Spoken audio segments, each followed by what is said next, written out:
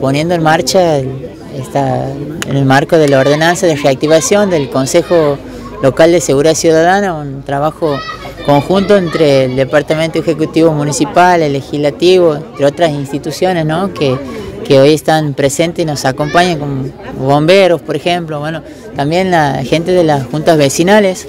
Eh, queremos remarcar y agradecer la predisposición del intendente Nediani que nos ha dicho vayan, pónganse en contacto con los vecinos, hablen, escuchen y vamos a planificar el trabajo para, para avanzar ¿no? en, el barrio. Así que también agradecemos la predisposición y el compromiso que han manifestado los vecinos al hacerse presente y poder hablar de manera respetuosa y comprometida, como lo decía, en esta jornada. ¿no?